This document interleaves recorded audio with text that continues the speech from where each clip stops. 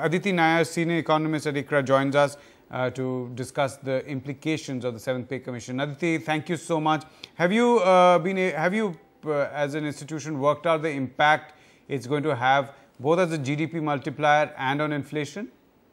See, broadly, um, our expectation is that we are going to see a good size boost to mid or ticket sized uh, consumption uh, items, whether it's on the manufactured uh, product size or on uh, the services side.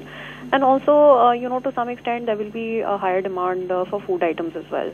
So overall, definitely a positive in terms of the consumption-led boost that it would give to GDP growth, and really complement the impact that we are expecting uh, from the monsoon for the rural sector. So although the uh, start has been somewhat shaky, I mean it's not been a uh, you know very uh, uh, well uh, spread out start to the monsoon season in this first month.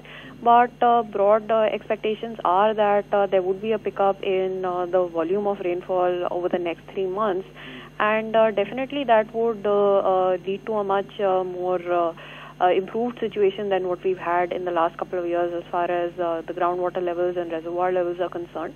And it should support the Kharif and also... Stick to the seventh pay commission here. Uh, in terms of the total payout that the government has to do, 50,000 crore, of course, has been uh, uh, already provisioned for. Another additional 50,000 crore is estimated is going to be provisioned for. Uh, we're still waiting for the details, the fine print to come out. That's uh, approximately about 0.6% of uh, our GDP at current prices. Now, is there any estimate that you've done that what is the multiplier that's going to happen in terms of GDP growth? So specifically in terms of uh, the GVA growth, uh, we have uh, an expectation that uh, all these factors put together will bump up GDP GVA growth by 50 basis points from the level that we had in FY16 to the 7.7% that we're expecting in FY17. Now, there will, of course, be an impact on uh, inflation as well, particularly uh, on the services side. Uh, because uh, you know these are uh, non-tradable and the supply constraints are going to be uh, much more binding on the services side than they would be on the manufactured products. Examples to our viewers, what what you mean when you talk about services? how does a slightly higher amount of money in the hands of government servants affect that? So first of all, the direct impact uh, would be on uh, the housing uh, subindex of uh, the CPI because the HRA component uh, for uh, central government employees is going to be impacted, and that does factor into the overall housing calculation that is done for the CPI. So first of all, that would be the direct impact.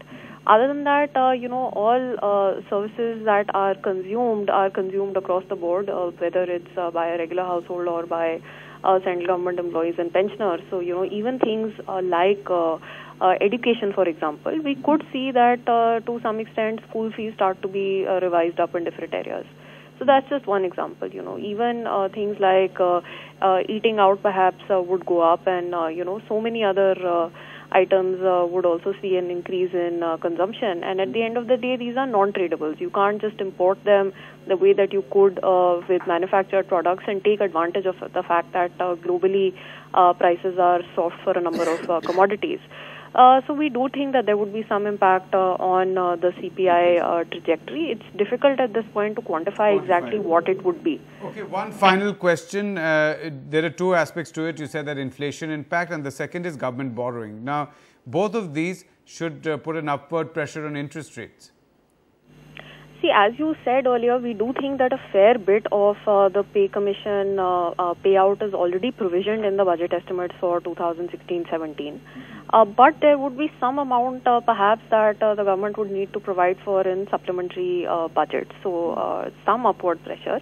It's really going to depend on how the revenue scenario turns out for the rest of the year. Are the disinvestment targets achieved?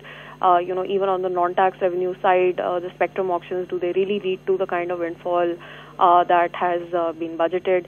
Tax revenues, again, would be very important uh, to watch. It's really early days to be able to get a trend for the rest of the year. Uh, usually the first quarter numbers aren't really a very good indicator of how things are going to uh, pan out in the rest of the year because of uh, the adjustments so that would be there. wait and watch then. Aditi Nayar, thank you so much, Senior Economist at ICRA, joining us.